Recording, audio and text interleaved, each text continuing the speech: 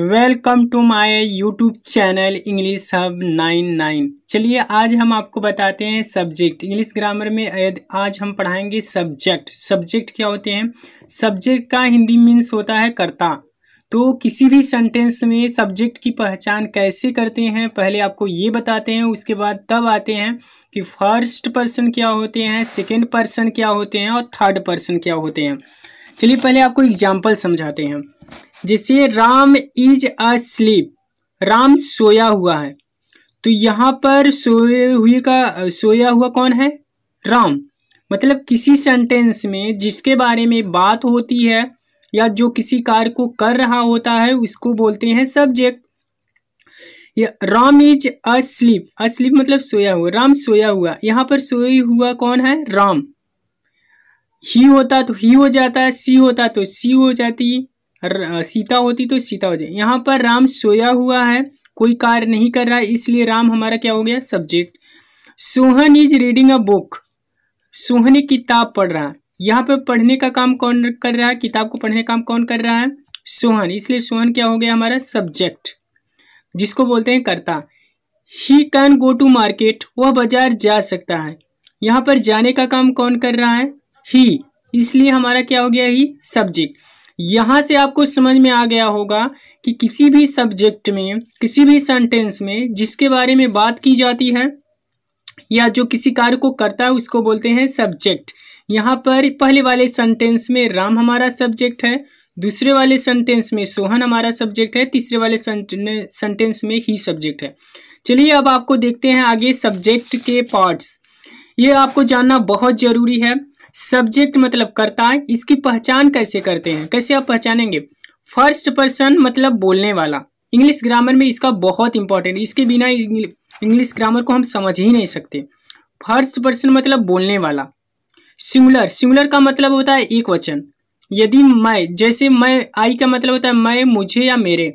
यदि first person बोलने वाले पे मैं अकेला रहूँगा तो आई रहेगा, वहाँ पे मैं, मुझे या मेरे जिसका हिंदी होता है, प्लूरल में हम रहे, वी रहेगा, जिसका मीनिंग होता है हम हम लोग, हम सब या हमने बोलते हैं।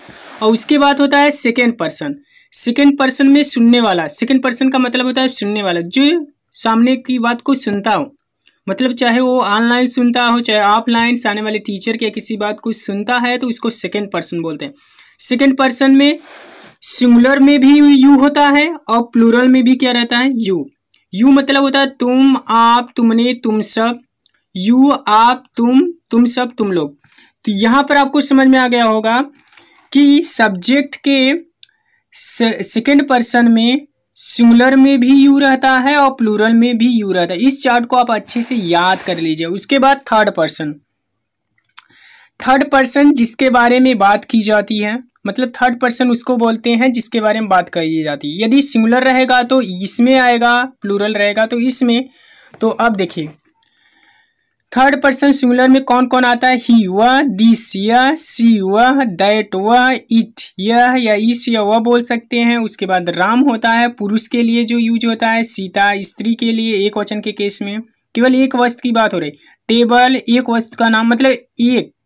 चेयर एक वस्तु कैट बिल्ली, एक। लेकिन यही थर्ड पर्सन ये सिमुलर है। और थर्ड पर्सन प्लूरल का मतलब दो लोगों की, दो या दो से अधिक, जैसे राम एंड श्याम। तो यहाँ पर राम और श्याम दो लोग हैं।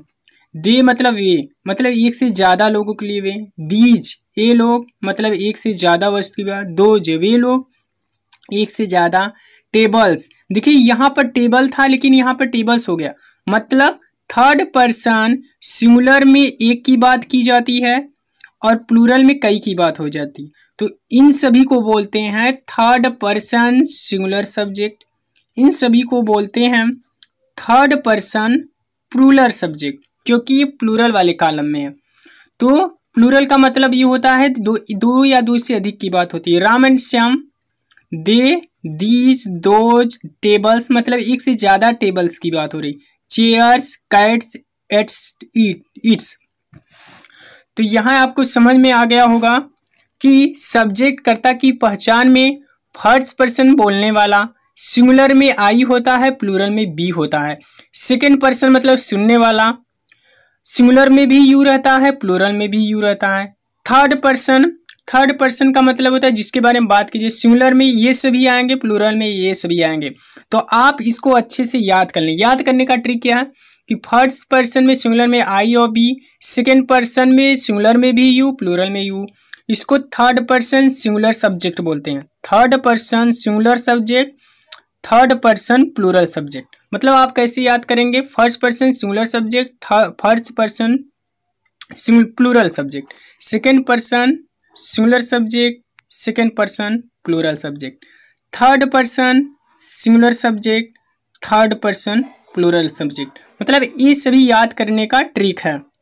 इसको याद करना बहुत ज़रूरी क्योंकि किसी सेंटेंस में हम जो सब्जेक्ट की पहचान करते हैं और क्या होता है, कौन सिंगुलर होता है, कौन प्लूरल होता है, कौन फ़र्स्ट पर्सन होता है, कौन सेकेंड पर्सन होता है, कौन थर्ड पर्सन होता है, इसके बारे में बहुत जानना ज़रूरी है। क्योंकि हम जो टेंस पढ़ते हैं या कोई भी सेंटेंस पढ़ते हैं तो वहाँ पर इसकी बहुत ज़रूरत है।